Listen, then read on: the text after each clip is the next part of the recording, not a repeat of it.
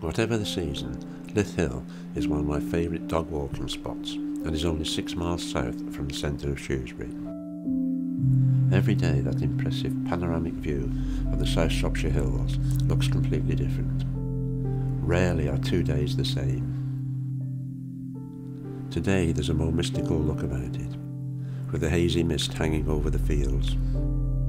The hills that on a bright day look as though they could only be a brisk walk away, today look more like the distant mountains over the border in Wales.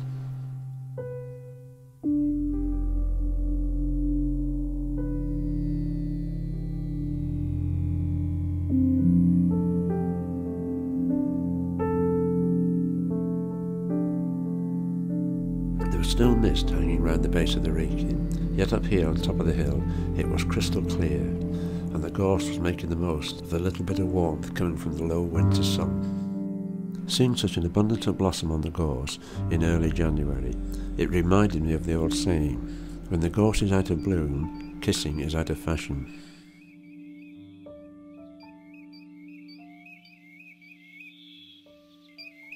That mystic feeling was further enhanced by what I instinctively recognised as the lonely sounding and distinctive flight call of golden plovers, which carries over very long distances.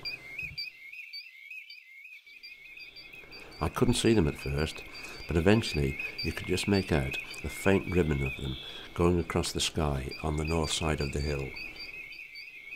It seemed like a never-ending ribbon as they continued to pass by. I estimate that there must be well over 3,000 of them. As you can see, there's about 500 in this shot at the moment, and that's only just a small section of the ribbon.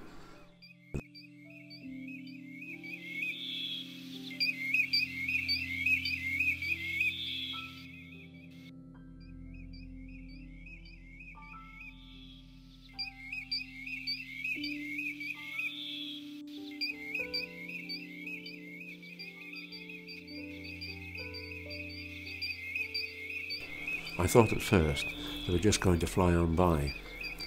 But no, to my delight, they suddenly turned and started to circle the hill. And as they came and went, at times they filled the sky, and their calls were something I'll never forget. After a while, they finally dropped down into a field nearby, presumably to feed. I must admit, it made what was already a pleasant walk into something that I'll never forget.